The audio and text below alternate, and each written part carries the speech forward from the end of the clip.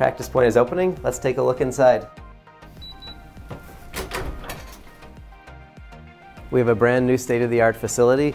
This is our motion capture lab that incorporates state-of-the-art motion capture systems, force plates in the floor, wireless EMG and IMU sensors so we can do all sorts of different reconfigurable setups for tracking motion of people and robotics and really understanding how to work with people with disabilities.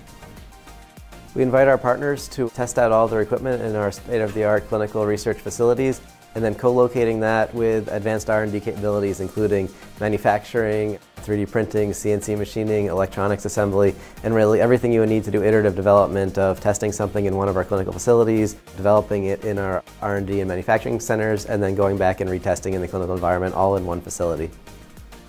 The goal is to transform the way your company does research today, speeding up the innovations of tomorrow.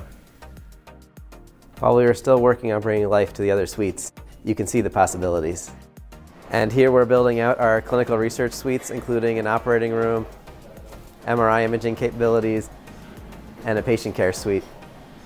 And the end of the hall is where our corporate pods are set up so that our corporate partners can set up their own private research facilities. In this facility, we have a residential suite where we have an apartment, we have a living room area, we have a kitchen, and we have a bathroom, and everything is fully instrumented. We can do motion capture, we have ceiling hoists, and we have the ability to really monitor and assess everything that's going on, and it's an ideal place to test out new devices to help improve the quality of life of people at home. We invite you to come in and connect with us today for your ideas for tomorrow.